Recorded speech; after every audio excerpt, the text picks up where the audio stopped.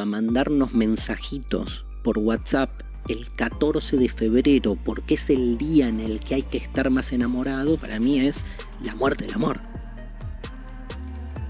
Hay, un, ideal del amor que tenemos demasiado impregnado eh, y que es muy frustrante, porque como todo ideal se concibe en términos de, su, digamos, de su carácter inconsumable. Si el amor es encontrar a tu otra mitad, y bueno, es, es tan obvio que no hay primero que no vas a encontrarla seguro, segundo que no hay una otra mitad para vos, tercero que no sos una mitad de nada, o sea, se empieza a desarmar todo ese esquema mitológico de, del amor como búsqueda de la otra mitad, este, y entonces, digamos, en, en la medida en que ese ideal quede todavía vigente, la sensación no es buena.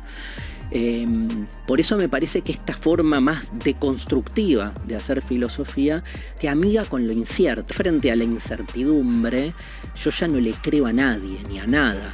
Pero haciendo filosofía convivo mejor con esa pena que me da el saber que de acá hasta que me muera no voy a tener todas las respuestas, no voy a saber qué me va a pasar, pero voy aliviándome eh, en la medida en que haciendo filosofía me voy haciendo cargo.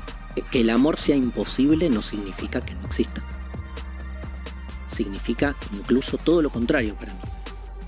Hasta me animaría a decir que el único amor verdaderamente real y existente es el imposible. Yo creo demasiado en el amor creo tanto en el amor que lo que me duele es que creamos que el amor se reduce a esas prácticas institucionales cotidianas que hacemos en su nombre. Creer que el amor, ¿no?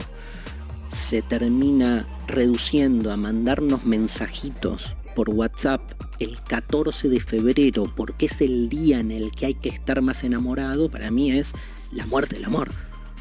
Sin embargo, podemos dar vuelta a la espalda y buscar nuestra singular y particular forma de amar este, por fuera de los mandatos tradicionales.